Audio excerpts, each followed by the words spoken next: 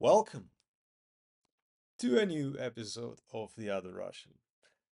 So, today I'm going to talk to you about brand strategy. Out of all the topics, and yeah, who would have imagined taking this turn at some point in time, right? But yeah, I've um, spent some time recently recording that uh, video for for Business Fanatic, for then publishing it on LinkedIn. And it took me like three or four attempts. And at some point, I just gave up. I mean, uh, no, actually, it was like six. Anyway, doesn't matter. At some point, I gave up and re realized that I'm just not going to be able to make it perfect because throughout those attempts, I've noticed that cliffhanger advertisement here right now. This is the long shot. So, um, what I was saying before I got interrupted by my imaginary advertisement. So yeah, that, that that's how it started. I mean, I, I thought it is impossible to nail it. I did try several times and then variations appeared in some of them, emerged, and then I, I thought that I won't be able to reproduce all those small pieces one by one and make it perfect because it's gonna take me like ever, always, like months. And I, I just, you know, accepted the fact that it's not gonna be perfect. And in a way, going against uh, some of the ideological pillars of our brand in a sense. I mean, it's just impossible. I mean, if we're, you know, our desire is to make it perfect. And then sometimes it's just not possible. But yeah, you just need to let it go. So today I wanted to dive deeper into brand strategy. And the reason being is that I thought it's important topic. I also thought that the fact that the typically, at least in the post-Soviet um, space, as they call it, or ex uh, USSR bloc or whatever you, you call it. So for that area, typically knowledge of marketing is like very limited because marketing as a discipline appeared in like beginning of 90s with the fall of the Soviet Union, right? But that's not the thing here. I mean, just realize that for the Western Hemisphere, uh, let's put it this way, marketing as a discipline's been thriving for decades by that point in time. And if you've seen some, um, by the way, patriarchal uh, TV show called uh, Mad Men, so yeah, I mean, it, it's history, right? It's been there for decades. And then at some point in time, Soviet Union went kaput, and then countries were on their own and rediscovering their selves, like their identities. I remember I went to the first grade and the country collapsed. I was like, okay, that's life now. And then yeah, 98, uh, the the year when uh, my father lost job and never started drinking after that. I remember recently because it was his birthday, the end of August. But yeah, then 2007, 8, 14, and 22 apparently. But yeah, I mean, the entire history of like Russia is fucked up pretty much throughout the millennia. But um yeah, so what I was saying is that it was a new knowledge and how it started to kind of deepen the roots is that in a way to to happen through the big multinational companies like P&G and uh, others. One of the earliest ones, Pepsi. I think they've entered like before the Soviet Union went kaput. Uh, but yeah, um, there are others, and of course, the the way that P&G introduced the, the the knowledge as in in terms of understanding what marketing stands for, how does it work, how does it affect business, how it brings more sales, how it creates additional value to the business and the shareholders in the end.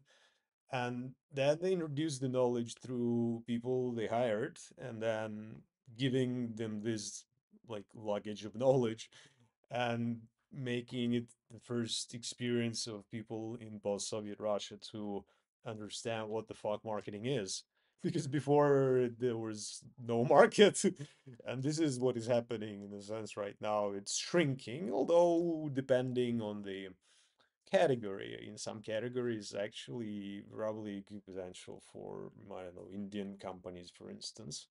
And yeah, I've uh, recently seen a recording by uh, Skolkovo, and you know what? I'm gonna put that down. So Skolkovo, yeah. So this is a uh, business school. It has nothing to do with government structure. It is uh, 100% private sector. So it's been there for a decade or something, or maybe two decades. I don't remember. No, I, I don't remember anyway. Probably put it in the notes or not. But the thing about Skolkovo is that um, they've started to build new direction for businesses that got cut off from um, European countries and markets.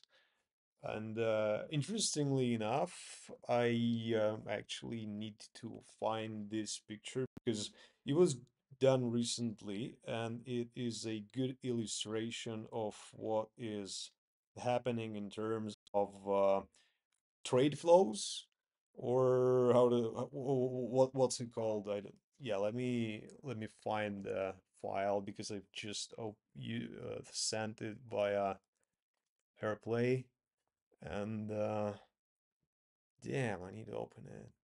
So yeah, while I'm waiting. Uh, anyway, so markets are critical for understanding because fuck, it's gonna be heavy. I mean, I'm gonna fucking kill you with this, but yeah, here it goes. Right? So, uh, yeah, I mean, oh, what is this? It, it's it's a flow of uh, the trade flow, yeah, basically. So yeah, let's try and enhance it. So Germany's exports to Russia and Central Asia in billions of dollars. Last data point, June 2023.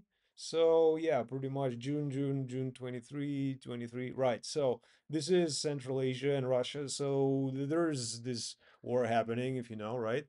And there is some data here that uh, shows what changed, you know, in February 2022. So you can see what are the numbers here in terms of various countries, and you can make a pause and, you know, make a picture later when you need it, but that's not the point here. So it was just a show off entrance, but no, it coincided. Not the, so the thing here is that everything is about market. So for for some particular businesses or uh, I don't know, services or whatever, you can see that,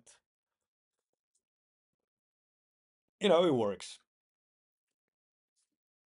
But yeah, um, talking about marketing. So how marketing helps businesses understand how to get a shitload of money is through identifying where does their um, auditory or target audience sits in terms of like physical or actually nowadays metaphysical or what, what whatever the fuck is uh, I don't know the, the virtual reality we live in or matrix or I don't know how you call it nowadays but yeah out there. So where are those that are going to uh, buy from you something regardless if it's B2B or B2C or B2G even. I mean, that depends, of course, because you know, for for some working with B2G, especially depending on what type of G it is, are those Gs, you know, there's G20, G7, G whatever, and you know. Anyway, so understand where they are, then understand uh, what are you actually giving them, and then understand why the fuck are you doing this, or you know, in try to summarize in a sentence or maybe paragraph, like what exactly you're trying to achieve. Of course, a lot you'd answer make a lot of money for sure. Yeah, I mean, of course, business is business. This is pro profit world and uh, um, strong survive, weak perish, basically, right? But the thing here is that it's not only about that, it is also something about the quality of life and uh, for people who are working for such enterprises, it is uh, important to have either, I don't know, a vision or a uh, purpose or a um, mission or something at least, you know, that would summarize why the fuck this group of people are doing the shit they're doing, right? And then aligning everything that business does around it is what brand strategy in a nutshell. However, there are other more nuanced ways to explain it to you, and I'm gonna go through um, a presentation that we have. Again, it is way from perfect. It is like uh, work in progress, best case scenario. But anyway, um, this is a deck that we at Fnatic use to showcase the type of projects that we do as business and give you a bit of flavor like why the fuck am I doing what I'm doing? Because it brings me joy it brings some pleasure in my life it brings meaning and if you remember before I think I mentioned at some point in the time that our business essence well not brand essence the business essence is uh, put meaning behind business. And this is the thing that we're doing, right? Helping people to either have a sense of that connection or divided in a sense, like between the entities, you and that um, entity, the virtual one, or however you can call it, like mental construct brand and then just knowing that this gives people some guidance in in many difficult situations and again there are companies that are still surprise surprise work in russia big multinationals local ones and uh, government owned uh, roughly 80% of the entire economy sector. And then there's like this small portion that is left out that is not yet government controlled. And yeah, so not much, right? But they still they struggle. And imagine you're living again, I mean, go way back and eh, have you read or not that book by George Orwell, 1984? Is mentioned in some of my early podcasts for years, but it gives you an idea. It gives you a feeling of what it is to live in Russia, and this is exactly the reality you live in. So then take this perception, take this like uh damn lens, yeah. And I don't know why the fuck am I going here with this. Let's just dive deep dive, you know. I've lost I've lost. I've lost my track. And it's gonna take time to reconfigure and get back to this because it is an important topic and I wanna put that here as a separate thought. Why the fuck tone cover? Right. So let's deep dive into this one. So this is an executive summary. This is uh, something that gives you an understanding of what was done throughout that project, and I'm I needed to make a confession here. I was not a fanatic when this happened because I was working at a different company, uh, mentioned before in one of my early podcasts, but but episodes. Yeah, so I'm trying to. I'm actually I think I've uh, crossed that line when people typically surrender. So I read it somewhere that it was like 10 or 11 podcasts, or, and that's it. I was like, okay, I need to make at least be beyond that. So what is this one? Yeah, 16. Fuck, man. All right. So let's do it.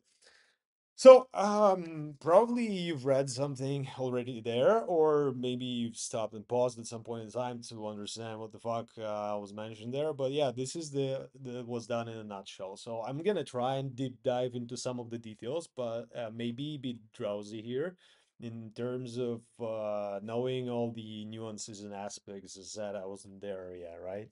So nevertheless, it uh, yeah, it's gonna be. A, I, I thought I should have put it in the beginning, but then it wasn't the end. I was like, oh, okay. Now I need to scroll all the way up. So this is a project that was done for uh, within a duration of a time frame between June 2016 and January 2019 for a privately owned uh, com insurance company called Renaissance Insurance. And this is the identity that's uh, been there ever since um, the rebranding that was based on that strategy that we've created as business. So the owner of the company is uh, Boris Jordan. He is one of the biggest investors in hemp. You can Google fact check me here, if you will. But yeah, and um, major shareholder of some companies.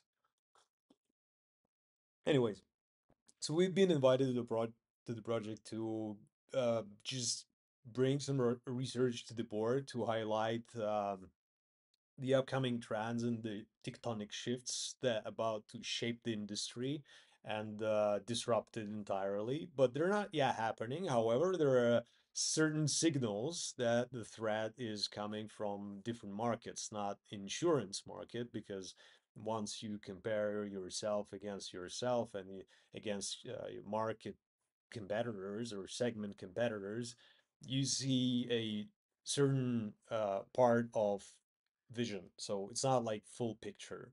So unless you understand what are other potential threats, and you can start with absolutely basic uh, methods like SWOT analysis just to sit there and understand, but it's not going to give you that level of uh, deep understanding in terms of uh, figuring out which specific like categories or industries going to disrupt you and change uh, the rules of the game pretty much because yeah it's a different methodology so i'm not going to go into details here in terms of the methodology because um, i wasn't there at said but yeah so some of the key points uh, that's been in in the beginning so market of insurance companies at that point in time wasn't strongly differentiated. So all the companies looked in a sense alike. They were just products servicing uh, specific needs of customers, uh, providing them uh, some basic terms or that agreement, basically either insurance coverage or something else so yeah, I mean there are categories not only insurance that are well, at least we're talking about Russian market. In other countries, the situation could be like completely different. But since it's a tectonic shift in some countries, it already happened, in some not.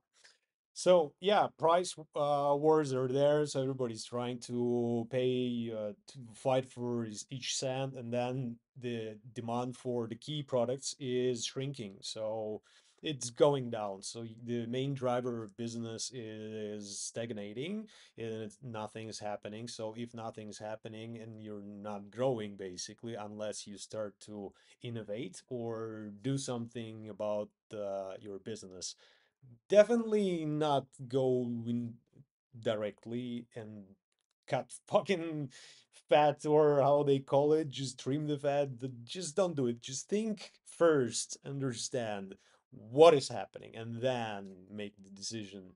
Because yeah i mean recently been seeing some interesting um yeah whatever so yeah, existing uh, marketing tools no longer working, or you know, uh, nothing's happening pretty much. So the situation is not changing, and um, yeah, so again, we came, we brought them some uh, interesting observations, and then they thought that yeah, it seems that we need to do something about it. So the changes that we brought were around identifying. Uh, things like yeah so basically at that point in time banks started to also provide uh, insurance policies and uh, give insurance and then it, the barriers for entering the market pretty much lowered down so yeah, I mean, others are coming in, and if you're not going to do anything about it, you're going to eventually die because uh, business and strategy is about long-term thinking. It's about trying to figure out what the fuck business industry going to look like in at least five years from now, and then longer periods, of course, like, you know, some Japanese companies or Chinese companies, they have their like mentality of long-term thinking. So yeah, what because the, I think that's why um the, one of the reasons is uh, one of the most popular book on strategy is by Sun Tzu, The Art of War. Definitely recommend reading, but that's not the point here. Uh, yeah, so research was done, and then they've seen that, yeah, I mean, we're about to be fucked up, and they decided to deep dive, uh, to deep take a deep dive into research. So yeah, additional research has been provided. So we interview uh, top managers, 24 interviews in total, including CEO and board members and whomever. Series of 12 folks groups that was done there. And uh, yeah, that back in the day was uh, physical face to face. So identification of factors of, of effective in the insurance industry. Yeah, that's exactly what I mentioned to you before. This is where it was identified. Well, actually before there were like first signals and then once we um, went in, we've seen that yeah, the the situation is about to the, the shit is about to hit the fan, as they say. So yeah, then further uh, research has been conducted over the duration of the next I don't know how many how many months. So June 2016, yeah. So it took them some time to think, of course, like five months. But yeah, um, so then once the research has been done and conducted we got together and uh, and brainstormed well not only brainstorm we first mapped out the existing territories the emotional territories on which existing brands were uh, playing so yeah not only them uh, other angles as well but then we came together and brainstormed around the hypothesis like high level hypothesis very like abstract in a sense. So yeah, probably Guggenheim first draft would be a perfect representation here of a first draft. So then those hypotheses were brought to workshop together with client, and then what happened is that they worked together and try to kind of uh, put on those hypotheses and then understand like whether or not it fits in terms of business, in terms of strategy, in terms of uh, corporate culture, in terms of HR policies, in terms of the product, in terms of everything that they do, uh, like communication, of course, as well, external one, it, whether or not it is in line. So there were several like shortlisted uh, hypotheses that we brought and uh, we've uh, worked through together. And then once it was identified, and this is a pretty standard approach in terms of building brand strategy. And uh, I've uh, recently ran several uh, meetings with the potential clients, and then you know talking through all the way the way that we approach. I mean, everybody's doing the same, right? So that's the thing. I said, I mean, it's exactly the same as uh, they do it. So the approach is there. The devil is in the details, however. So yeah, going down to that workshop. So there, um, what we did is uh, selected the direction, which was then used to build a brand strategy, and uh, then it was uh, of course done properly with the help of uh, like really good copywriters because there's a um, a nuanced phrase that probably I'm not gonna be able to reproduce in English because I do remember Well, I think there is one, yeah. But um, anyway, let's get let's cross that bridge when we get to it. So the the selected hypothesis was then presented by Boris Jordan. That's uh, him, uh, the hemp guy, presenting, and in it is simple. And we're there, you know, with them, helping them, guiding them. You know, that's uh, actually that's Yegor. If yeah, that that's him. I mean, you can recognize him. So uh, yeah, I mentioned him to you earlier. The one that guy, letter from Ray Bradbury. It's in one of my previous episodes. So yeah, um, so the approach that was taken here was more of uh, visionary in a sense. Uh, Well, not visionary per se. It's more about like finding this uh, purpose, pretty much. Or yeah, I think that that's it. Yeah, pretty much. The idea, this the structure, and I if you go into that video that I mentioned to you before about marketing, marketing, um, um, the brand platform thing that I uh, mentioned to you before, if you go there, if you go through the details and you understand that, um, I mentioned about the thing about forms, like various forms, triangles, keyholes, uh, onions, whatever, pyramids. And one of those aspects is sometimes critical to deliver the message, convey it. So if you go to this particular presentation and uh, through the structure of it and go back to that slide that I missed before, the structure was um, what, what's the word for it when you got inspired by so when you read and then that some piece of knowledge inspires you. So he got inspired by Simon Simon Sinek. Start with why And uh, yeah, that was put at the core of it, the why, the answer to that question. So that was the mission. It still is to make the world a safer place. And I'm gonna say to you in Russian, сделать мир безопасным местом. So yeah, I mean, coming from a mouth of Russian, right? Those words, tough challenge for for brand, but yeah, you can go there you can check it out. They build a website uh, showcasing it to you, what it looks like and what it means exactly. But yeah, this is the the explanation taken from uh, their website, pretty much. This is a launch. So once um, the brand strategy, so yeah, this is the brand strategy, all right. And um, once it was built in place, so it's just one document, one piece of uh, I don't know, um, slide, one slide, one page. So this is the brand strategy. And some of you may sit there and think like, what? I completely understand. That's why I'm doing this recording today. That's why I'm talking about those things in the first place.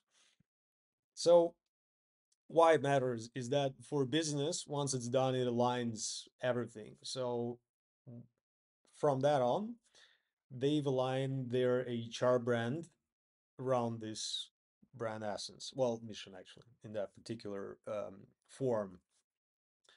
But yeah, typically look at those missions, the ones that the people put on their websites of their companies. And I've seen a lot of them. And you know, you can just replace a logo, you can put a mission statement, like do a shuffling game, you know, and then put them together like a slot machine, and then it's gonna be the same. You know, they fit all of them. So that that's the point. They uh they're faceless.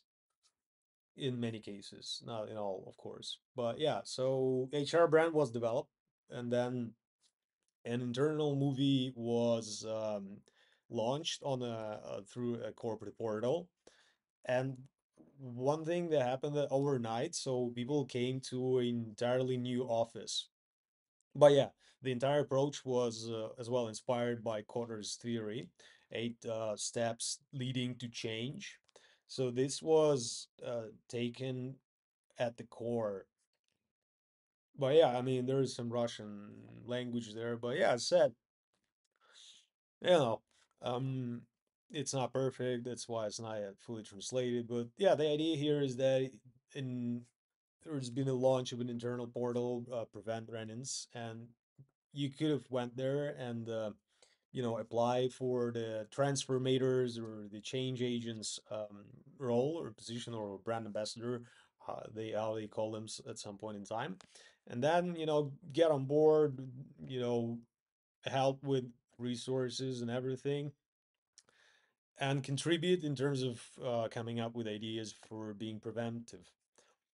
So then it was a cascading stage, you know, delivery of that project. I'm just looking at time and yeah, I'm talking for a lot.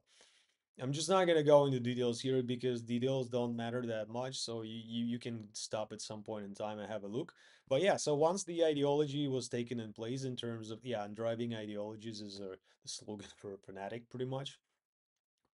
But yeah, so meetings, workshops, entire like integration internally. And then once everything was again aligned, it was helpful to build new products that brought new technology to the market. Uh, telemeter system. So I've um, recently had a meeting, well, recently, a month ago, with uh, people at Kid Global, and we've been talking about uh, this project in particular. I've been talking to them about it, and then they said that I was in charge of uh, bringing this technology to the market. I was like, shit, I'm, I'm amazed because in Russian market the technology was never there. So telemetrics is telematics, or yeah, I'm not sure if I pronounced correctly here, but anyway, So what what it is as technology, it is a um, device that is, or not the device, well, depends, I mean, the source of, anyway, the signal. So it gathers data of uh, movement, and uh, once it is implemented in cars and it is then taken into account, you can use this data to calculate the risk um scenario like level of a specific person and then change the price depending on how she or he or he or she or they or them don't know. Um damn was it a patriarchal shit there that i did just now? Yeah anyway apologies for that. So anyway mm, talking about that so they've concentrated on building product that would not only gather that data but bring back knowledge to the client and uh, help them in terms of lowering the cost for their insurance. So yeah, and then there were other integrations with uh, Magnit is the uh, biggest or second biggest nowadays uh, FMCG retailer in Russia. At some point in time was um, like 100% uh, private owned, but then yeah, unfortunately things changed. So yeah, people came to entirely new office. So there, there were posters of uh, people who invented like great innovations in terms of safety. So everything is again aligned around the idea of making a world a safer space, place. Damn. Anyway, so the person who invented those block walls in the ship so that if there's a hole and the water starts to pour in, the other segments are not um, touched or affected. It's probably the word I'm looking for here. And other people who implemented and invented new diet or mass populated among masses, like Steve Jobs with the magnet connector. Prior to Apple introducing it to the world, it was widely known in Japan in uh, for like electronics for rice cookers, and there's been this magnetic connector that saved from um, accidents with children and rice um, cookers. So yeah, like Steve Jobs uh, decided it's a good idea, and indeed, I mean, great guy, uh, admire him a lot. But yeah, genius marketeer. So light refract reflection surface, uh, max for doctors, and just to remind you, this is prior to COVID uh, 19. which effectively started in uh, well the lockdown mainly in February March 2020. So it did um, you know companies uh, sometimes in the end of the year, well in Russia at least, they make those like gifts like holiday celebrations for their business partners and they send out various stuff. So uh, they've sent out uh, gifts for 2020, and among those gifts were uh, surgical masks. So this is pr- thinking preemptively, and um, yeah, so the rooms were renamed after specific people. So prior to that, there was some uh, names, something that um,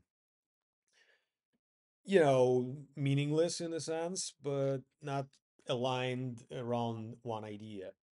So new change implemented. So those were like inventors, like big inventors of safety belt and uh, inventor of uh, pasteurization, Louis Pasteur, or pasteurization. Anyway, I'm not French and Russian. What the fuck you want from me? Andy Hopkins, antivirus inventor. yeah, John P. Knight, traffic light inventor. Leonardo da Vinci, inventor love boy. Heinz Leder, liber, а, либерал, что ли, Inventor of ABS, um, Эдвард inventor of Traffic Separation Lines, Henry Мар Parmelee inventor of automatic fire sprinkler. So, yeah, I mean, look at those, right? Um, what was that? So people had to build new neurological pathways and actually oh talking about pathways so i finished that book um, you know, finally uh the emperor wears no clothes i'm gonna talk to you i'm gonna dedicate a separate podcast i'm writing it down emperor podcast right so um, I've started to read another book about microdosing. Um, it's insane. I mean, I love it already. It's very thin, small, uh, but yeah, it's really good in terms of bringing additional knowledge, uh, especially about building new roots and helping with migraine. Um, confirmed help like one time or several time dosage with like no side effects. Mm, and confirmed out there you can use chat gpt to find any research nowadays available and just look there. Actually you know i'm gonna make an episode on, on ai because I've been like lately, like last two days, I couldn't sleep yesterday. I, I think I'm a late bloomer, but yeah, you've had like hundreds of ideas running through my mind what to do, and I started the day with just uh, prompts, and yeah, whew, went far, but definitely worth investing time in terms of uh, using it for various reasons. So go there. Um, Benjamin Franklin, uh, inventor of uh, shit, I forgot what's it called. It's uh, lightning. Fuck. Anyway, uh, Молниятвод. Mm, so triptych was represented in representing the idea in importance of it in each and every room. So prior to 18th century, most popular uh, association with the word uh, lightning was fire inside the building. So yeah, Benjamin Franklin, uh, the one that you can see on a hundred dollar bill, um, noticed that yeah, th- there's a uh, commonality between atmospheric nature yeah the yeah the nature of atmospheric and static electricity S- that's why in 1752 he advised a construction of uh, молниеотвод, uh, mm, lightning whatever mm, громотвод uh, as if that helped right Which caught lightning and uh, safely directed it to the ground. Uh, preempting uh, direct preempting again right? So preempting again against direct contact uh, of lightning uh, nothing's more effective or more money saving ever been introduced ever since. So put in the right spot it just simply works. Right. Oh shit. Other triptychs like Louis Pasteur saw a rotten apple and then looked at the um, under a microscope like what the fuck is happening and then boiled the fuck out of it and like, oh no germs, perfect. So yeah, and savior of uh, children's lives. Inventor of childproof bottle. What happened? Children before ate pills. Mm, no longer able to because it's closed and not easy to open, and then you know they die of age, ideally. But yeah, this is shit. It's been a while. So yeah, that's that's the exact summary. I think it's like not Chekhov, but yeah, no, it's something about different. Chekhov is about the gun, the gun. So I'm not gonna throw Ganesh at you, don't worry. But that was an, a bit of an overview of the brand strategy podcast. I'm gonna continue doing it. So it, I hope that at some point in time somebody appears and decides to like, share, and fucking spread the news about that other Russian guy, right? So thank you for watching, and yeah, be whomever you want to be as usual, you know. Cheers.